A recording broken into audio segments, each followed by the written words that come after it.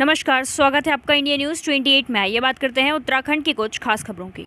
उत्तराखंड के नैनीताल के लालकुआ विधानसभा क्षेत्र के महिला मोर्चा ने भाजपा से इस्तीफा दिया। राजीव नगर, घोड़ा नाला, निवासी बिंदु खत्ता।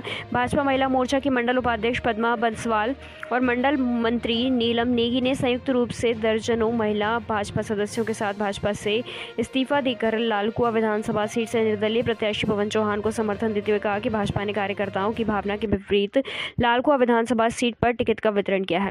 उन्होंने कहा कि पार्टी ने उस व्यक्ति को टिकट दिया है जो पहले से ही पार्टी से बगावत कर चुका है, जिसके आहत होकर आज हम सब लोग भाजपा से इस्तीफा दे रहे हैं। यहाँ बिंदु खता क्षेत्र के घोड़ा नाला, राजीव नगर, तिवारी नगर, शांति नगर, संजय नगर, हल्दूचौड़ बच्ची धर्मा बंजरी कंपनी, बंगाली कॉलोनी में निर्दलीय प्रत्याशी पवन चौहान ने भारी बारिश के बीच आज अपना ताबड़तोड़ जनसंपर्क किया। इस दौरान राजीव नगर घोड़ा नाला में एक बैठक आयोजित की गई। नैनीताल से संजीव सिंह की रिपोर्ट।